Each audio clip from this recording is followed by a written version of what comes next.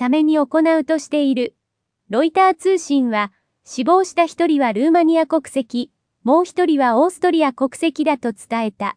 ハルガダは欧州やロシアなどからの観光客に人気がある。エジプト政府は新型コロナウイルスの感染拡大で激減した外国人観光客の誘致を進めている。